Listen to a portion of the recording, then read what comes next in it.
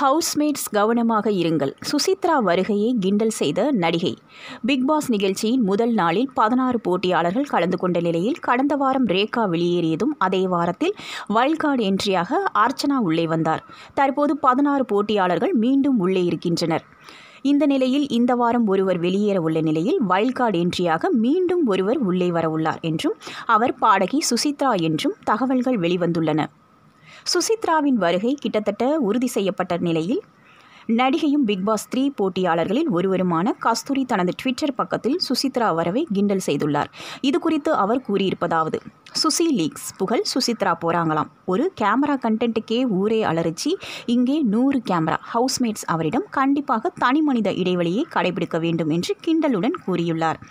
கஸ்தூரியின் கிண்டலுக்கு சுசித்ரா உள்ளே போகும் முன்னரே பதிலடி கொடுப்பாரா அல்லது பிக் பாஸ் வீட்டுக்கு சென்ற பின்னர் பதிலடி கொடுப்பாரா என்பதை பொறுத்திருந்து பார்ப்போம்.